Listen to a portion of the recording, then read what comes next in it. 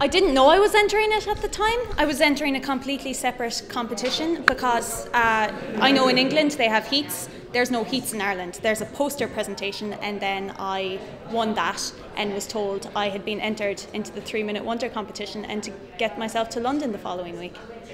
I suppose the main thing is I've met a load of physicists from other places like Scotland and Wales and England doing types of physics and science I haven't heard about and I wouldn't see in my day to day life. So being able to interact with them for an evening, it's going to broaden my field and my scope when it comes to physics.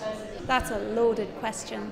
Um, I suppose without science, good science communication, we don't get any up and coming scientists and physicists in the field. No children or, or, teenagers will want to go into physics when they get to college, and that's very necessary if we want the science and the research to continue growing. We need the new up and coming researchers to come. So, without science communication, everything just stops.